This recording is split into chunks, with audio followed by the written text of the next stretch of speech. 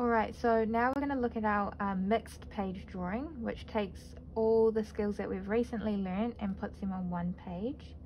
We want you to focus on one tool per each of these small drawings. Um, so as you can see, this one is um, pink color pencil, and they are only using pink color pencil, and this one is just blue pen. Um, you can do a variety of different um, types of drawings. So we've got our um, line contour drawing over here. We've got some tonal work, um, some more tonal work, and then there are some blind drawings, some contour drawings.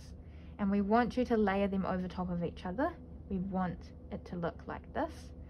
Um, make sure that you're doing your pen drawings first because if they don't turn out how you might like them to, you can layer other drawings over top which might disguise it or make it look a little bit different slash a bit funky, kind of like this yellow one over here where um, this student has um, layered this blue and purple contour over top.